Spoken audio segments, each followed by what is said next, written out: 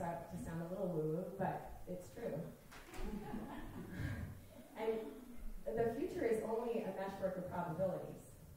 So we, we tend towards the future that the, the probabilities that we pay attention to. And one of the tendencies these days is to not pay attention because it looks pretty fuzzy, especially for the next 50 years. So it's nice to reach about 300 years into the future